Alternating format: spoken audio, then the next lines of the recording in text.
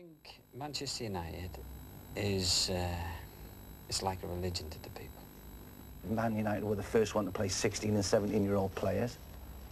And then the uh, first ones to break into Europe. I still regard this as my club. I think we all do, all Yeah, the players from that, yeah. you know, that era. We, uh, and it was such, uh, I, I was watching something the other day, Bob Paisley was talking about Liverpool, Yeah. saying about the family atmosphere, Family, yeah. and that's exactly what it was like. I always wanted to create a feeling that we were all part of the club, even uh, no matter who they were, the, the s- washerwomen, we're, all a team. It's always been a vibrant place. There's never been a boring place. There's always something been happening here.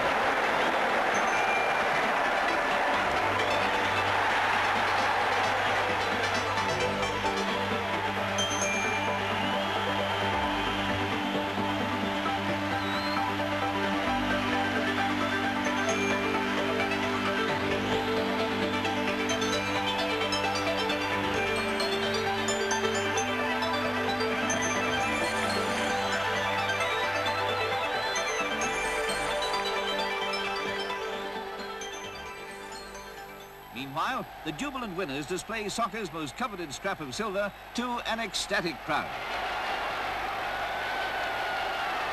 Mr. Vibacker, President of the European Union of Football Associations, handed it over. It's easy to imagine how excited they are, though the cup has never been treated this way before. As the news of the disaster became known, Britain was appalled. Among the fatalities were seven members of the famous Manchester United team. The losers congratulate the winners and join the fans, all except one anyway, in cheering United's captain, Johnny Carey, as he receives the cup from the hands of His Majesty the King.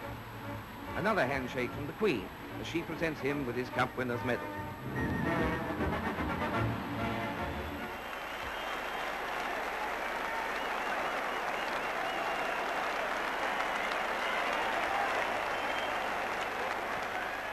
The seeds of Manchester United were sown in 1878 when the dining room committee of the carriage and wagon works of the Lancashire and Yorkshire Railway formed a football team.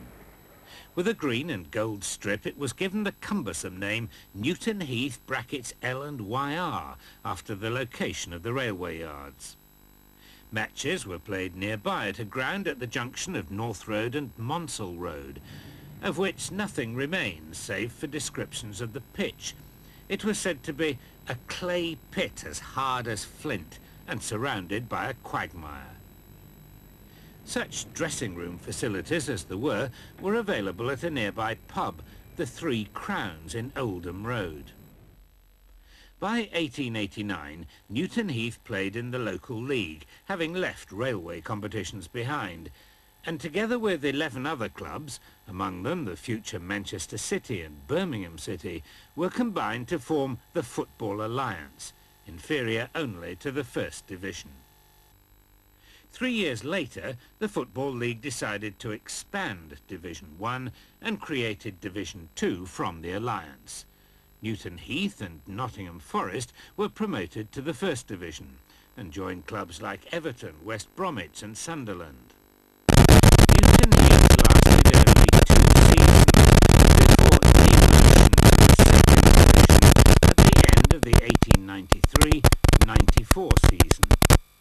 They were to stay there for the next 12 years. In 1893, the club moved from North Road to a ground at Bank Lane, Clayton. Built in the shadow of a chemical works, a local rhyme had it that as Satan was flying over Clayton for hell, he was chained in the breeze, likewise the smell. Quoth he, I'm not sure in what country I roam, but I'm sure from the smell I'm not far from home.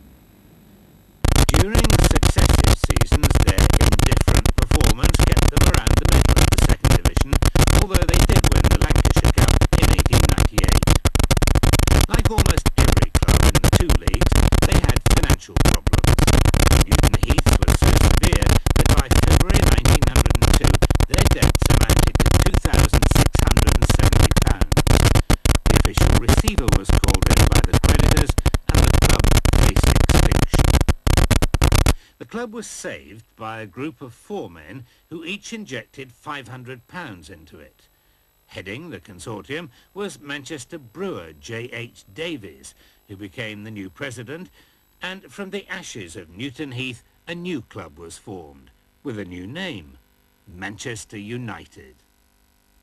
With Davies's financial backing and enthusiastic support, and the shrewd team purchases of manager J.E. Mangnall, the club began to move forward. By 1906, they'd won promotion to the First Division. Two seasons later, they were league champions. And the following year, 1909, they won the FA Cup. At the start of that season, plans had been unveiled for a new ground. It was to be built at Old Trafford, would hold 80,000 people and provide full facilities for players and spectators alike. It would cost £60,000.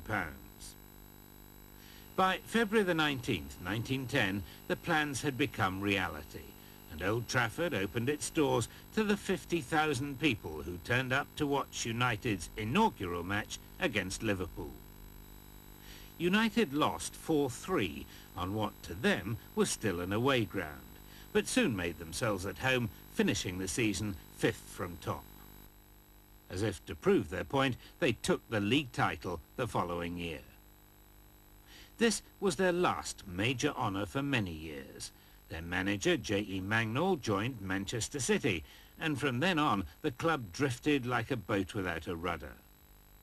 Successive managers tried to put the club back on course, but still they wandered from second to first division and back again, as to their rightful place. Added to this, money was again a problem. J.H. Davies died in 1927 to be succeeded by James Gibson. He too injected cash into the club and fought off the creditors. By 1938, United were back in the First Division, but their debts now amounted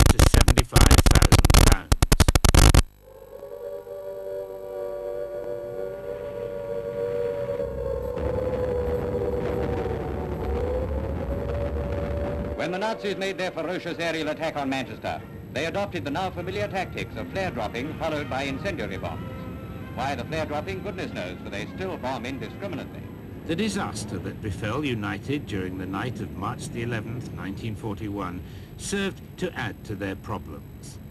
Stray German bombs from an air raid directed at the industrial complex of Trafford Park fell on Old Trafford, wrecking the pitch and demolishing the stands. By 1945, the debts and the debris were still there, and the search began for a manager to take it all on. Uh, they wanted me to be assistant manager at Liverpool. There's some offers from Scotland and out of the blue uh, I got an offer from Manchester United and I was always a lover, lover of Manchester anyway. And uh, I uh, eventually, after meetings with old Mr Gibson, Mr Jimmy Gibson, uh, I signed for Manchester United as the team manager. Guiding United is ex-star Matt Busby, keeping a player's eye on the first team workout. Matt Busby was soon styled a tracksuit manager. He went and trained with his team, an approach that took the older players by surprise. Before the war, of course, managers uh, were not quite in that. Uh, they weren't tracksuit managers. They didn't sort of go. They were sort of administrators. Matt and Jimmy Murphy played with us. We, we played, they were inside, and Jimmy Murphy was a dirty little one. So, you know, if you didn't do what you should have done, you got flogged. a lot of people say when, when the war finished and Matt more or less took over, uh, he had a team, but he never had a team at all. He had some talent, but it definitely needed sorted out. We had a right fullback who, who kicked the ball the way he was facing. Half the time it finished up in the stand. um, my general idea was to to build a side of play that was exciting or entertaining or try and play football. Skipper Johnny Carey clears an early Yeovil raid, and from then it's United all the way. The near-perfect soccer machine in action. A corner starts the avalanche, and Jack Rowley scores goal number one. Another corner and another goal. Jack Rowley again the scorer. All this time, the United were waiting their chance, and Pearson, the inside left, moves centre and heads in Manchester's first goal.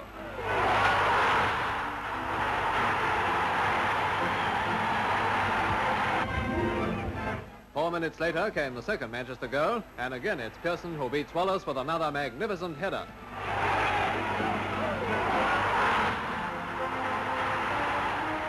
And there's still more to come. Jack Rowley scores number eight to make his own tally four. Uh, our ambitions are realised in 48 when we, we beat Blackpool in the, in the final. This is uh, one of the, they claim it as one of the great finals. It's, it's been played, played at Wembley. A close duel between Manchester's Johnny Carey and Blackpool's Walter Rickett, number 11, is highlight number one in a thrill-packed match. Highlight number two comes when Stan Mortensen is tripped in the penalty area and referee Barrick awards Blackpool a spot kick. As the crowd rise to cheer, Eddie Shimwell drives it home to give the Seasiders the lead.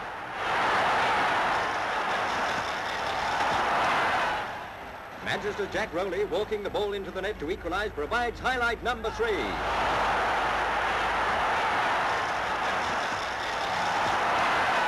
From a free kick and a seemingly impossible angle, Stanley Mortensen whips in a goal to give Blackpool the half-time lead.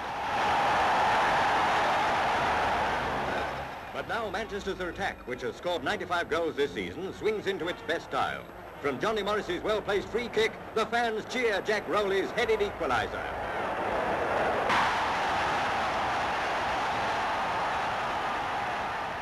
With the score at 2-all, Blackpool are again on the attack. Stanley Matthews, who has been shut out effectively, beats Manchester's Johnny Aston, but the Seasiders finishing his four. Charlie Mitten, number 11, starts off United's winning attack. And from Rowley's pass, Stan Pearson scores the goal that gives Manchester the cup. The King hands the silver trophy to skipper Johnny Carey. Their 4-2 victory, snatched in the last few minutes, gives Manchester United the reward they richly deserve.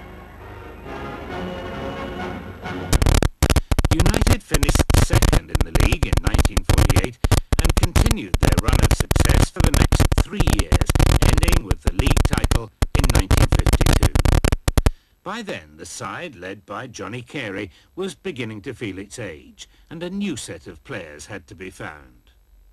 From then on, we, we concentrated and simply on youth because that was my